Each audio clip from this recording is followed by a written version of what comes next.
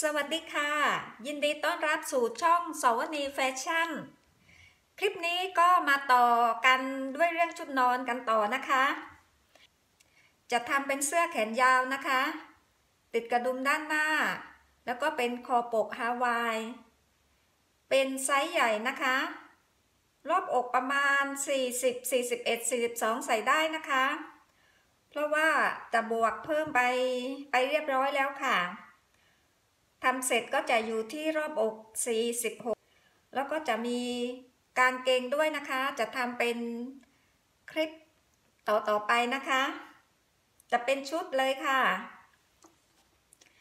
มาดูวิธีการทำกันนะคะ ก็เตรียมกระดาษมาแผ่นหนึ่ง ก็ทางด้านฝามือนะคะ ก็ให้ตีเส้นเข้ามาสักหนึ่งไม้บรรทัด ทางด้านฝั่งหาตัวนะคะ ก็หนึ่งไม้บรรทัด เพื่อที่จะได้เห็นเส้นชัดนะคะ ชิ้นนี้จะเป็นชิ้นหน้านะคะ ให้วัดเข้าไปอีก2เซนติเมตรนะคะ จะเป็นสาบเสื้อค่ะ จะกำหนดความยาวที่ 60เซนติเมตรค่ะตีเส้นลงไป 60เซนติเมตรนะคะ ความกว้างของเสื้อ 29เซนติเมตรค่ะ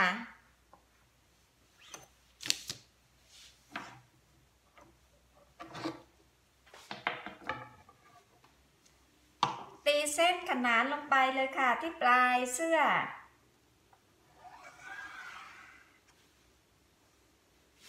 แล้วก็ปลายเสื้อก็ตีเส้นเชื่อมกันนะคะ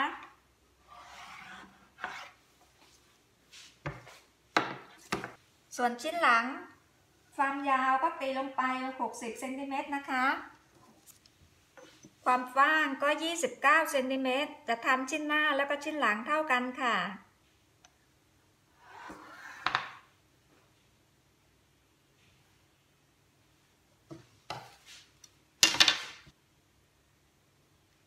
ลายเสื้อก็ 29เซนติเมตรค่ะ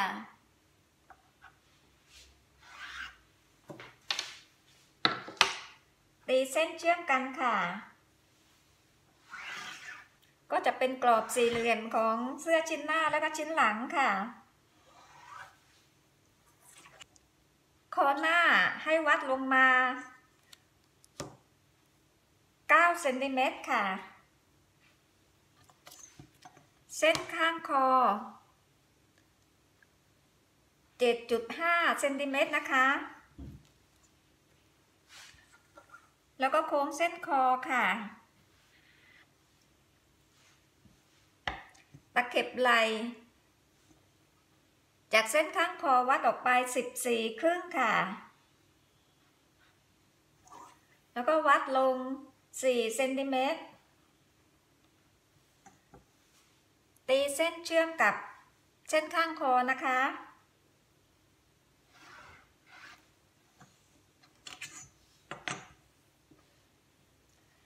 จุดนี้จะเป็นจุดรักแร้นะคะ ให้วัดลงจากจุดนี้มา 24เซนติเมตร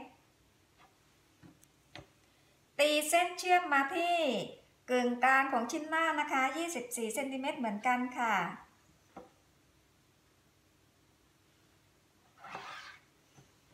เพื่อที่จะหาแนวจุดรักแร้นะคะ แล้วก็จากจุดลายของรักแร้นะคะ ให้ตีเส้นขนานลงมานะคะ เพื่อที่จะโค้งแนวรักแร้ค่ะ แล้วก็จุดกึ่งกึ่งกลางของเส้นนี้นะคะ ให้วัดเข้ามา 1.5เซนติเมตรตีเส้นจากปลายตะเข็บไหลนะคะ มาที่ 1.5เซนติเมตร แล้วก็โค้งวงแขนค่ะ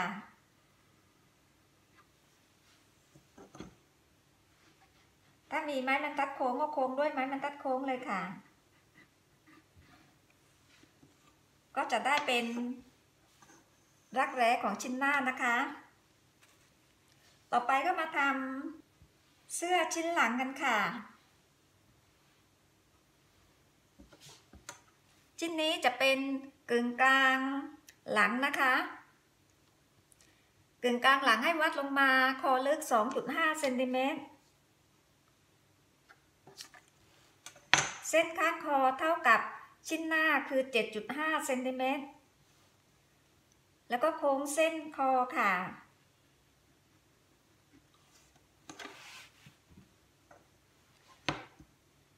ตะเข็บไหล่14.5เซนติเมตรเท่ากับชิ้นหน้านะคะ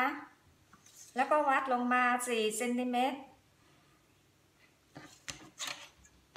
ตีเส้นตะเข็บไหลเชื่อมกับเส้นข้างคอค่ะ แล้วก็วัด แนวรักแร้นะคะ จากเส้นด้านบนลงไป 24เซนติเมตรกึ่งกลางหลัง 24เซนติเมตร ตีเส้นเชื่อมกันค่ะ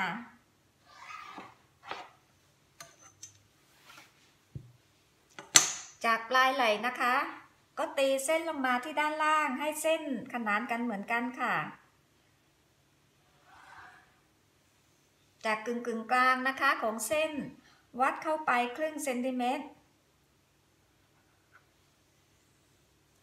แล้วก็ตีเส้นมาจากปลายตะเข็บไหลนะคะ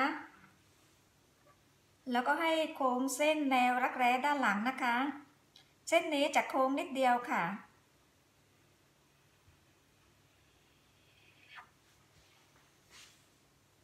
จะโค้งน้อยกว่าชิ้นหน้าค่ะ ก็จะได้ออกมาเป็นแพทเทิร์นชิ้นหน้า แล้วก็ชิ้นหลัง ในส่วนของชิ้นหน้าก็จะมีสาบนะคะ เสื้อชิ้นหน้า เสื้อชิ้นหลัง ก็จะเรียบร้อยนะคะ ต่อไปมาวัดรอบวงแขนกันดูนะคะ ชิ้นหน้ากับชิ้นหลังรวมกันแล้วได้เท่าไหร่ โดยใช้สายวัด โค้งไปตามวงแขนนะคะ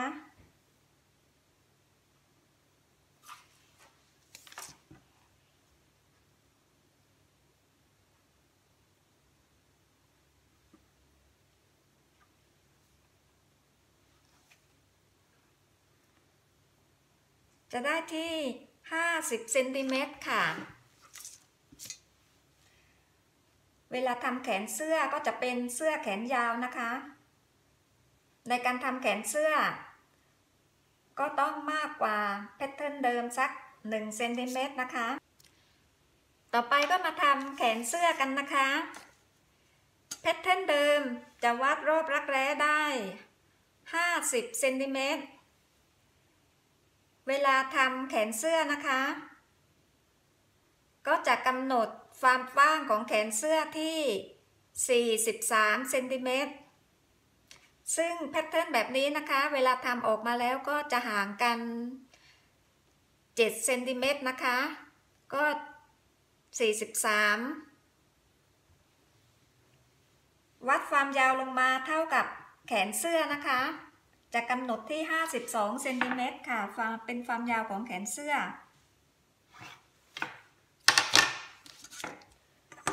จากจุดกึ่งกลางนะคะ ก็ให้วัดออกไปด้านละ 21 ครึ่งค่ะ ซึ่งจะรวมกันได้ 43เซนติเมตร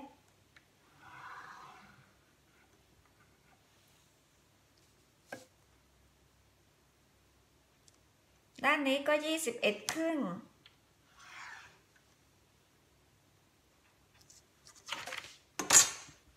ปลายแขน ก็วัดออกมาด้านละ21ครึ่งก่อนนะคะ เดี๋ยวค่อยเก็บเข้าอีกครั้งหนึ่ง แล้วก็ตีเส้นค่ะ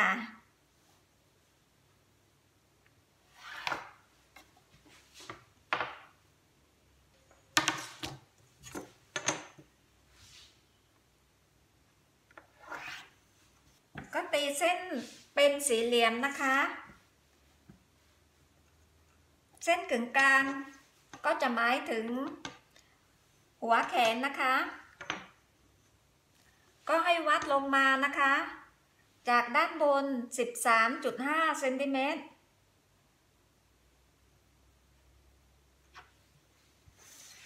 ด้านทางซ้ายมือก็ 13.5เซนติเมตร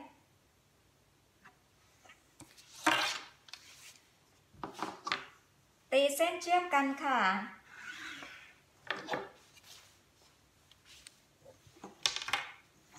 จากหัวแขนนะคะ ก็ตีเส้นทะแยงมุมค่ะ อีกด้านหนึ่งก็ตีเส้นทะแยงมุมเหมือนกันค่ะ แล้วก็ให้แบ่งเป็น 3 ส่วนเท่าๆกันนะคะ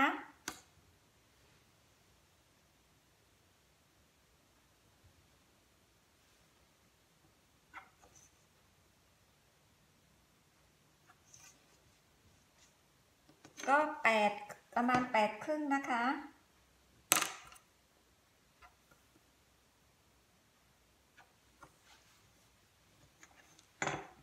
ทางด้านซ้ายมือจะเป็นแขนด้านหน้า ด้านฝามือก็จะเป็นแขนด้านหลังนะคะ แขนด้านหน้าให้ตีเส้นขึ้นไปนะคะ 1.5เซนติเมตรแล้วก็ส่วนที่ 3 จะอยู่กึ่งกลางนะคะ วัดลง1เซนติเมตร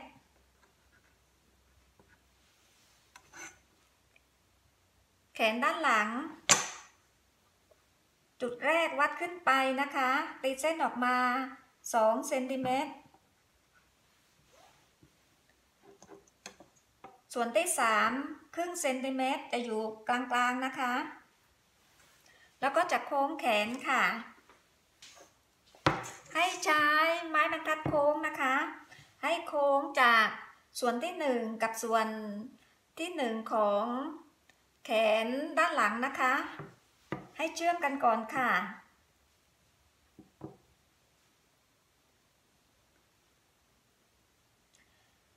แขนด้านหลังกับแขนด้านหน้าในส่วนที่หนึ่งนะคะ ให้วางไม้บรรทัดโค้ง ให้เส้นสอดคล้องกันนะคะ ส่วนนี้จะสำคัญค่ะ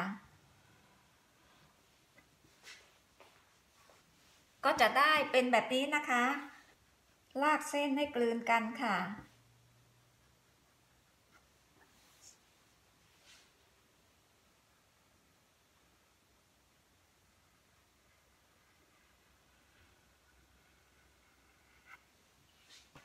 ก็แต่งเส้นอีกครั้งหนึ่งค่ะ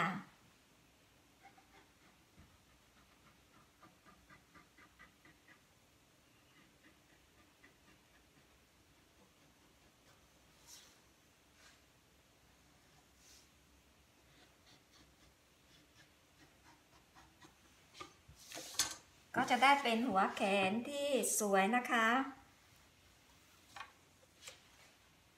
ในส่วนของปลายแขนนะคะ ให้วัดเข้าด้านละ3เซนติเมตร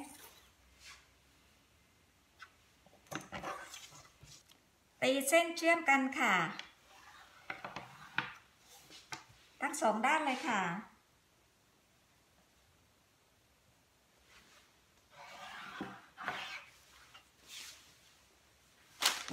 ถ้าต้องการให้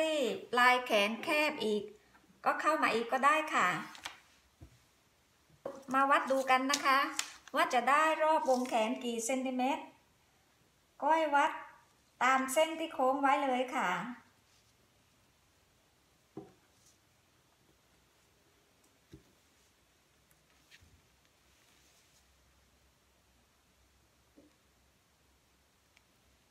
ซึ่งก็จะอยู่ ประมาณ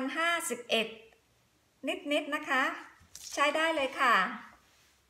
เพราะว่าเวลาเข้าวงแขนก็เข้าแขนแบบเสื้อเชิ้ตผู้ชายอะค่ะทำแบบสไตล์ผู้ชายนะคะ การเข้าแขนแบบสไตล์ผู้ชายจะเข้าง่ายค่ะ ในส่วนที่เหลือก็ตัดออกไป ก่อนที่จะทำคอปกฮาวายก็มาวัดรอบคอกันก่อนนะคะ ทั้งคอหน้าและคอหลังว่าได้เท่าไหร่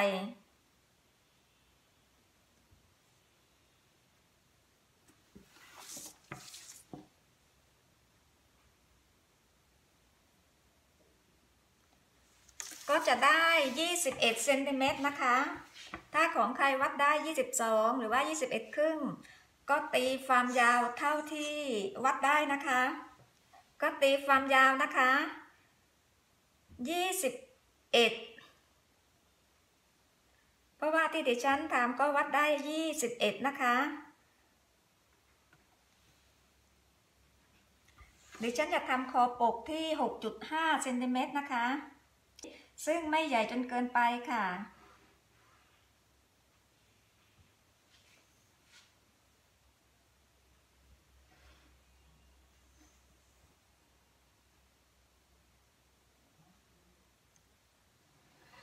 ก็ตีเส้นเชื่อมกันนะคะ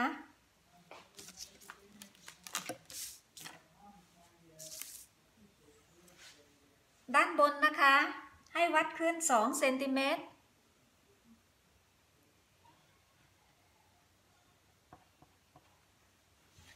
แล้วก็ด้านล่าง ก็วัดขึ้นไป2เซนติเมตรแล้วก็ให้แบ่งครึ่งนะคะ แบ่งครึ่งจุดนี้กับจุดนี้นะคะ ก็จะได้สิบครึ่ง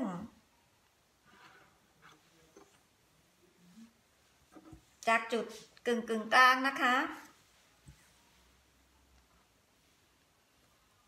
ก็ลากเส้น ให้กลืนกลืนกันมาที่2เซนติเมตรค่ะ ส่วนด้านล่าง ก็ทำเหมือนกันค่ะ ให้เส้นกลืนกันค่ะ เวลาวางผ้า ส่วนนี้ก็คือสันทบนะคะ เพราะว่าต้องใช้ ผ้าอัดอีกครั้งหนึ่งสำหรับทำคอปกนะคะ ก็ตัดออกมาก่อน ส่วนนี้ก็จะเป็นสันทบค่ะ รวมกันแล้วก็จะได้ 42 นะคะ ทั้งคอหน้าคอหลัง รายละเอียดของการทำตัวเสื้อ แขน แล้วก็คอปก ดิฉันจะเขียนไว้ใต้คลิปอีกครั้งนะคะ ในส่วนของกางเกง ดิฉันจะทำ ต่อจากคลิปนี้นะคะ เพราะว่าถ้ารวมกันมันจะยาว คลิปนี้ก็มีแค่นี้นะคะ ถูกใจกดไลค์ กดแชร์ กดติดตาม สวัสดีค่ะ